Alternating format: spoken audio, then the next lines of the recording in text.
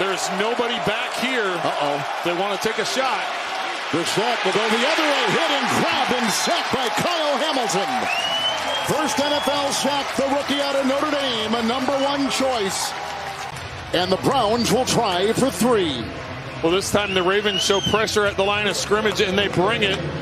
Stone coming off the edge. And then Hamilton finishing things off.